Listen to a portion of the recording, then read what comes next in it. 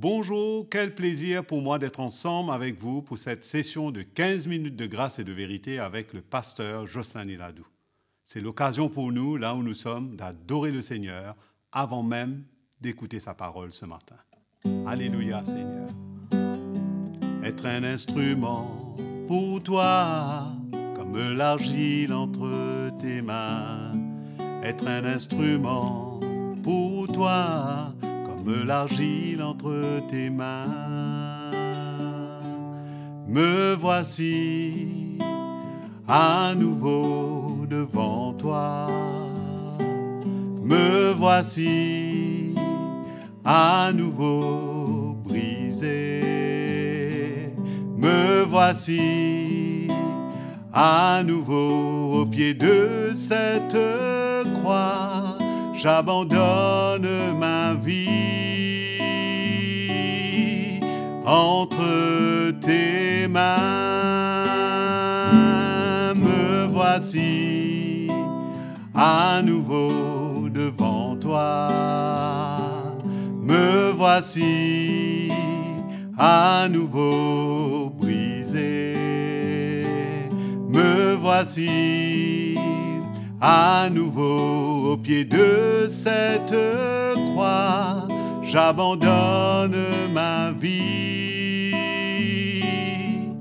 entre tes mains. J'abandonne ma vie entre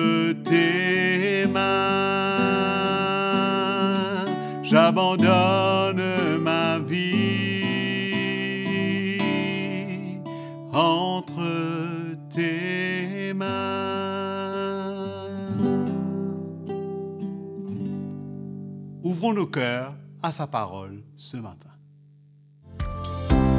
Bonjour mes frères et sœurs bien-aimés, c'est une joie encore pour moi d'être avec vous pour cette nouvelle session de 15 minutes de grâce et de vérité. Merci mon frère Patrick pour ce merveilleux chant qui nous encourage à louer le Seigneur, à adorer le Seigneur. Nous avions parlé précédemment de cet appel, cette urgence pour qu'il y ait un retour vers les choses de l'esprit. Je, continue, vais continuer sur cette deuxième partie. Comment, comment nous voulons servir le Seigneur? Hmm? Qu'est-ce que nous recherchons? Le monde est dans une course pour les choses matérielles, pour les choses périssables. Nous, notre course, c'est pour les choses de l'esprit, les choses que nous voulons que Dieu non seulement accomplisse en nous pour que nous puissions nous présenter devant lui comme cette Église, comme ce peuple, cette race élue, mis à part, séparée. Hmm? Voilà comment nous avons besoin d'entendre. Voilà ce que l'Esprit de Dieu veut produire au milieu de nous. Amen. C'est pourquoi, en parlant de ce retour vers les choses de l'Esprit, nous voyons que nous allons voir quelques, quelques exemples. Pardon. Jésus, lui-même, il dit à propos, nous savons que Jésus, non seulement il était le Fils de Dieu, non seulement il était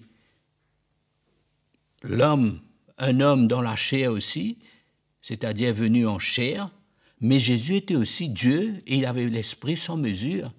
Mais il voulait servir quand il était là, tout son ministère, tout ce qu'il faisait.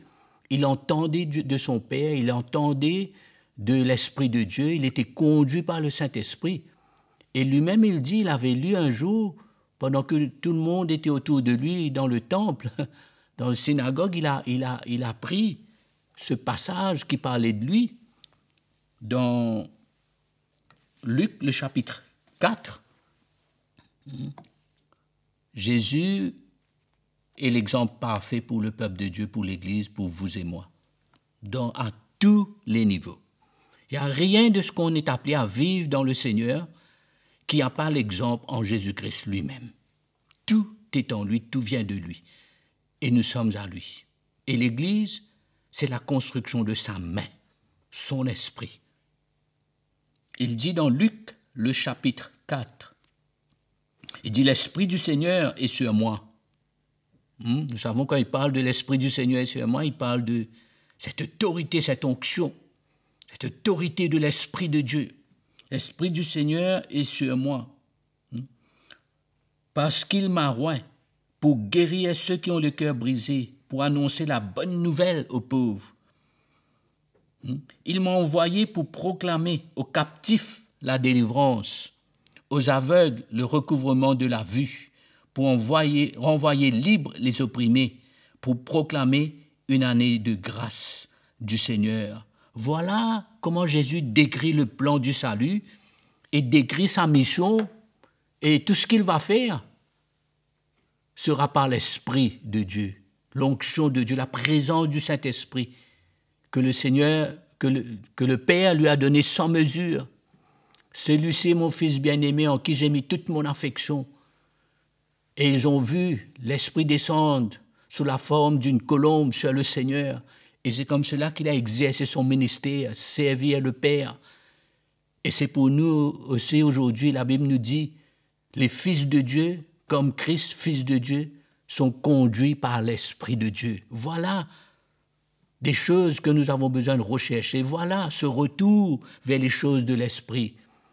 Aujourd'hui, malheureusement, je dis ça pour vous, pour moi-même parfois, il y a tellement de routine, tellement de, hein, d'un esprit religieux à vouloir courir dans tous les sens, faire des choses, mais allons rechercher être conduits par l'Esprit de Dieu. Jésus dit, l'Esprit du Seigneur est sur moi. Il m'a roi. Et tout ce que je vais faire, ça va être conduit par son Esprit. Quelques exemples, vite fait pour nous encourager. Hmm? Dans le livre des Actes des Apôtres, le chapitre 6, Hmm? à un moment donné où il y avait un peu d'ordre à mettre, où, les apôtres eux-mêmes étaient tellement pris à annoncer la parole de Dieu. Il y avait certaines choses naturelles, servir de table, et certaines activités étaient un peu négligées. Il fallait chercher des hommes pour aider. C'est là qu'on allait nommer les diacres dans l'Église, mais quelles étaient les qualités qu'on recherchait pour mettre ses frères à venir aider Hmm? Allons voir dans le chapitre 6, hmm, le livre des actes des apôtres. Hmm? On va pas lire tout le passage, allons voir à partir du verset 3 et 5. Il dit, c'est pourquoi, frère, choisissez parmi vous sept hommes de qui l'on rend un bon témoignage, premièrement. Deuxièmement, remplis de l'esprit. Oui, c'était une qualité. C'était un élément important, essentiel. C'était un point considéré dans la vie de ces hommes, remplis de l'esprit et de sagesse. Hmm? Hmm? Sagesse, c'est seulement un peu dans le sens pratique, sage pour gérer les affaires. Hmm? Et nous les chargerons de cet emploi. Verset 5, c'est ce discours plut à toute la multitude. Ils élurent, donc ils avaient tous le bon témoignage. Et c'est en accorité qu'ils ont choisi Étienne, homme plein de foi et d'Esprit Saint, Philippe, Procor, Nicanor, Timon, Parménas et Nicolas, prosélyte d'Antioche.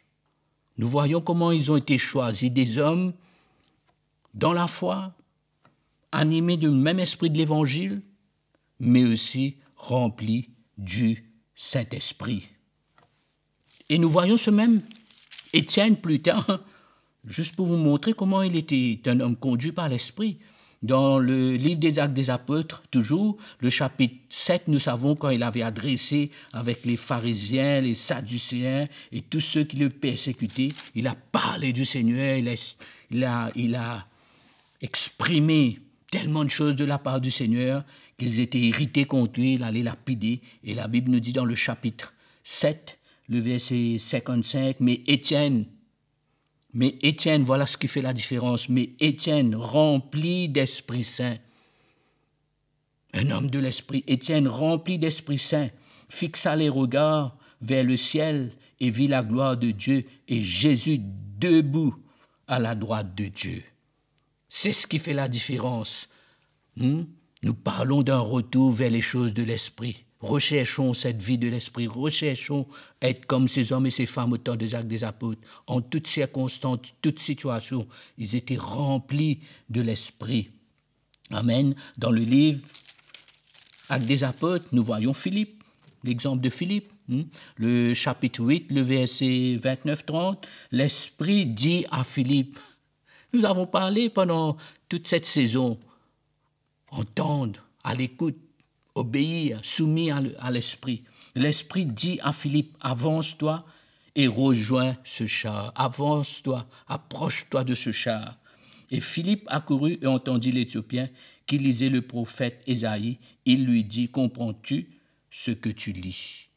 Hmm? Cette sagesse que l'Esprit lui donne à ce moment pour, pour gagner le cœur de l'Éthiopien et ouvrir la porte à une conversation qui va emmener le salut à cet homme qui était un ministre. Hmm? Nous voyons quand Dieu nous conduit par le Saint-Esprit, il y a toujours un miracle. Amen. Et c'est cela que nous recherchons. Hmm? Pierre, pareil, Pierre, hmm? un peu plus devant le chapitre 10, le verset 19, nous savons comment le Seigneur s'est révélé à Corneille. Corneille a envoyé de ses serviteurs pour rejoindre, pour aller chercher Pierre, qui, était, avait donné l'adresse exacte. Pierre était dans tel endroit, hmm, et qu'il fallait qu'il va chercher Pierre. Et la Bible nous dit dans le chapitre 10, le verset 19, hmm, et comme Pierre réfléchissait sur la vision, parce qu'entre-temps, entre-temps que le Seigneur avait parlé à Corneille et envoyé ses serviteurs pour aller chercher Pierre Hmm, dans, dans, la maison de Simon, hmm, à Jaffa. Il avait donné l'adresse exacte, c'était conduit par l'Esprit de Dieu. Et Pierre, entre-temps, il a eu, une vision.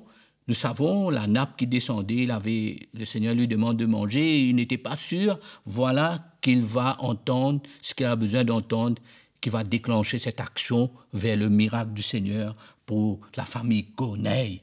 Il dit, et comme Pierre réfléchissait sur la vision, l'Esprit lui dit, hmm, Voici trois hommes qui te cherchent. Lève-toi, descends et pars avec eux, sans hésiter, car c'est moi qui les ai envoyés. Quelle grâce de servir le Seigneur dans cet état, dans cette atmosphère, dans cette condition de cœur où on entend, où on est conduit l'Esprit de Dieu. Je ne parle pas de venir mystique ou super spirituel, je parle d'une simplicité qui est accompagnée d'un travail de Dieu, d'un changement dans notre cœur, d'un évangile. il y a tout un ensemble d'un travail que nous avons vu pendant toute cette saison, comment le temps est venu, le temps est arrivé. Hmm? Jean le chapitre 7 nous dit comment, hein, comment il y aura des fleuves de vive couleront de notre sein, parlant de l'Esprit de Dieu que le Seigneur allait envoyer, qu'il a envoyé, qui habite en nous. On n'est pas sec. On ne fait pas par routine, par technique l'œuvre de Dieu. On n'entre pas dans toutes sortes d'organisations, de programmes juste pour faire, mais on est éveillé, on est attentif, on est conduit Peut-être pas tout le temps, des fois on rate, c'est pas, pas très important, mais notre notre cœur, on est à l'écoute et on n'est pas sec. L'Esprit de Dieu en moi, à ses voix, me parle, me conduit, et c'est comme des fleuves de vive qui découlent de nous, et notre service est agréable à Dieu. Quand on le fait à sec, souvent il y a la frustration, mais Dieu veut nous enrichir. Que la parole de Dieu vous bénisse, que la parole de Dieu vous encourage. Merci d'avoir été à l'écoute de la simplicité de la parole de Dieu. Et à très bientôt. Nous avons entendu la parole de Dieu et nous avons été bénis. Nous remercions le pasteur Jocelyn Iladou pour cette session de 15 minutes de grâce et de vérité. Aimez et partagez ce message et n'oubliez pas de vous abonner à notre chaîne CTMI. N'hésitez pas, écrivez-nous à l'adresse qui s'affiche à l'instant sur votre écran et nous reprendrons contact avec vous.